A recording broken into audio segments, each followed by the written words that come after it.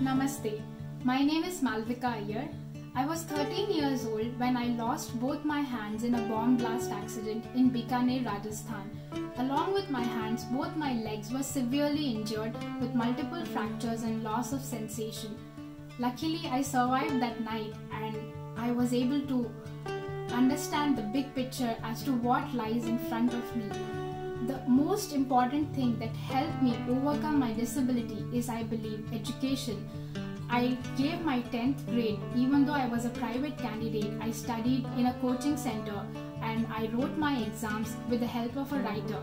I got 97% in my final exams with just 3 months of preparation and I think there's never been a time where I looked back as to what happened or I ever felt bad or I ever pitied myself for what has happened to me or the loss that happened to me.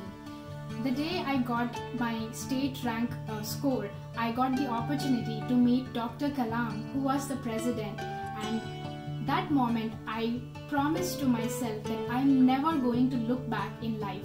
From being a young girl with disability to receiving the Nari Shakti Puraskar from the President of India, my journey was challenging at every step. As a disability rights activist, I'm trying to create awareness about the discriminatory attitude and the stigma that surrounds people with disability, also the inaccessible public spaces. I am a product of inclusion. I have been included in my school, in my workplace, and by my society.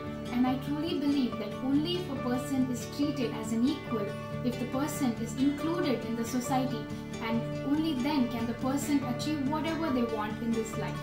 I dream of an inclusive India where we are truly accepting of each other despite our differences.